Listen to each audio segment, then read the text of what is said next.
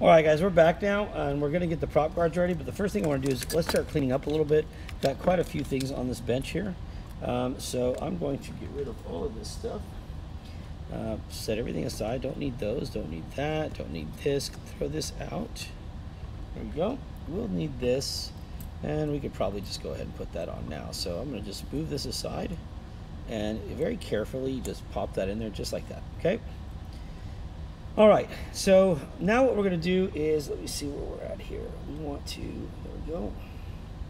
Okay, so um, a couple things. First thing is we're gonna go ahead and put the um, second set of standoffs in. So let's go ahead and do that now. So take the eight millimeter screw, put it through that back hole right there and just start uh, kind of tighten down the back uh, standoffs.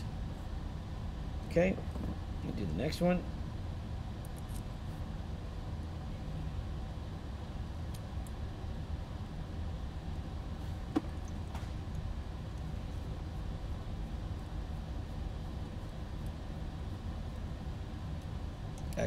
Okay. Once that's done, what we can do is let's go ahead and make sure our camera stands are straight. All right, just like that. And now we're going to go ahead and I think we should have no problem. We're going to go ahead and put this on. Okay, so let's go ahead and put our top plate on. And let's start by putting in the front screw, one of them.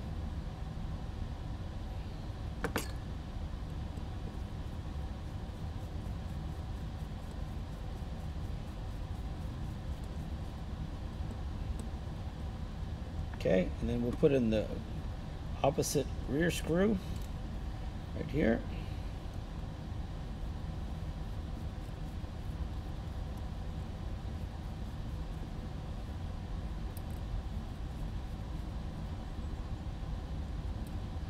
Excellent. Okay, and then we'll do the other screw here. We'll do the back screw on this side.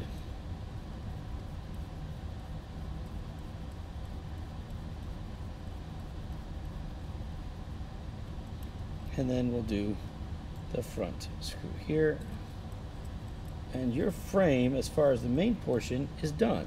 Now we have a couple things to do here first. One of the things we talked about was I said well you could zip tie your receiver here. Well you can. You could literally just run a zip oh, I have one right here actually. You could run a zip tie right around just like that. And the cool part is let me show you. Now that this is on okay put the put the put the unit just like this and you can position it like this is for the XM I mean for the M plus for example. You can literally position this to where the bind button is right in that X. Okay? Now I just moved it but that's not really it really doesn't matter because not every not every receiver is going to fit like that. But you can easily just zip tie this to the top. And if you were worried about well now I'm going to put my battery up there is that going to get in the way of my battery? No the answer is no and I'll show you how I'm just trying to push this down just a little bit so I can get this to kind of give me a little bit of a break here. So I can get to the bind button. There we go. All right, so here's what I'm gonna do. I'm gonna take it to the side like this, tighten it, okay, and just kind of roll it down right there. All right, perfect. Now I can keep moving this down to where that buckle is out of the way, but look, if you look right there, I can hit that bind button right now, okay, just like that and I can bind this, okay? Now this is zip tied up there and I'd probably, yeah, it's good and all, but I'm not gonna, I mean, that's how you can do it. I'm not gonna zip tie mine because I don't see any need to zip tie this one. Um, it's gonna stay in here very well, especially once we put this down. But what I was gonna tell you was, if you run a zip tie across the top of your plate and you're like, well, my battery's gonna lay right there. Well, yeah, but if you use the silicone padding, right? What you do is you put the silicone padding on each side. The silicone padding is taller than the uh, height uh, than the thickness of the uh, zip tie. And so all you're going to have is you put a, a, zip tie or the silicone padding on this side and then a little bit on this side. And right in between where you've cut it and space it out is where that zip tie runs and it doesn't get in the way of your battery. So don't worry about that. All right. But I'm not going to zip tie mine. I don't see a need to do it. So here's all I need to do is I need to get my antenna set up. Okay. Now I've got, I left two openings here and I'm going to see if I can do this without kinking it too much. Hopefully that'll fit. Actually, you know what? Let me see. Me see where I prefer to put this first because I've got this receiver wire and I don't want to take up too much space here. So let me see if I can get this to fit through here. There we go. So I'm going to fit that, I can fit that right up here if I want to, just like this. Okay, now there's my VTX, my VTX line right here. All right. Now, uh, as far as my uh, receiver wire goes, what I'm going to do is I'm going to take my, here it is, my zip ties. Ooh, that's a. Right, and I'm just to kind of, let me see, how do I want to do this? If I put this like this, no, I want to go like this. Okay, so I'm to go from the bottom up through that slot right there on the side, and I'll show you this in a second once I get my finger out of the way. Okay, so do it just like that.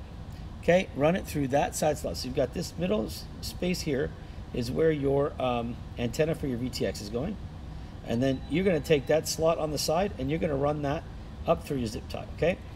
And then what you can do is you can feed the antenna wire, your RX antenna wire, through right here, through that circle where the um, where the uh, VTX antenna is. You can feed that right through that circle, stick it to here, and then let me get let me get a heat shrink. And we're gonna heat shrink that wire and protect it. Okay? Just like this. So we're gonna do this, and we're gonna put this heat shrink.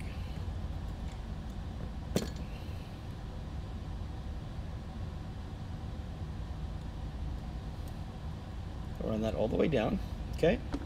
And what we can do is um, we could probably cover a little bit more of this if you want to. I don't usually do that, so I'm to leave mine just like this. But here's what I'm to do. I'm to go ahead and heat this up. Okay.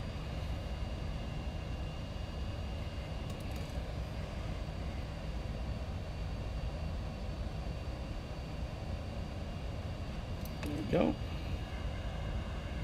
A little bend in it just like that. Okay, now, the next part's going to be pretty cool too. Next thing I'm gonna do is I'm going to take another zip tie and I'm going to run this one up on this side. Okay.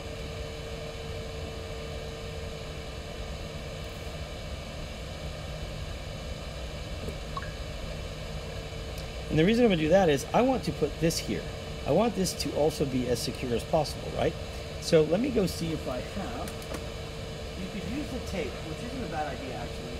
That leftover tape, that leftover tape would be pretty good to use here as well.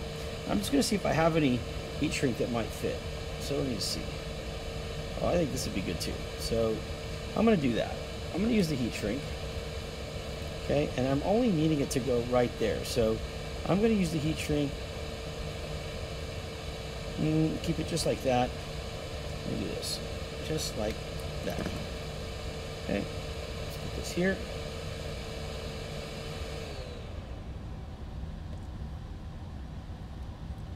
All right. And now let's heat that up as well.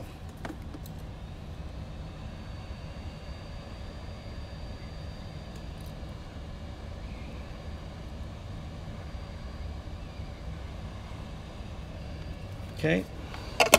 And then what I was saying was if you wanted to, you could literally tape this piece. We had that extra tape, right? So let's just cut this piece of tape, a little bit of it, right?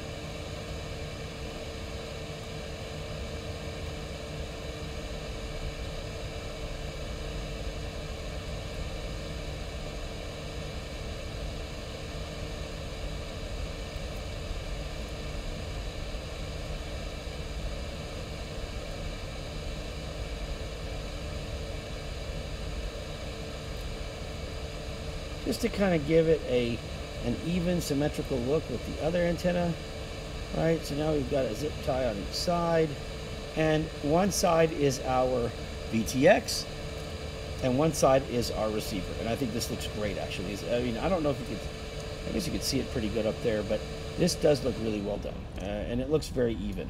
So all right. So I said I was gonna this was supposed to be about doing the prop guards but it ends up being about finishing off the receiver and the VTX antenna. So what I'll do now is I'll come back uh, on the next video and we'll do the prop guard. So give me just a minute.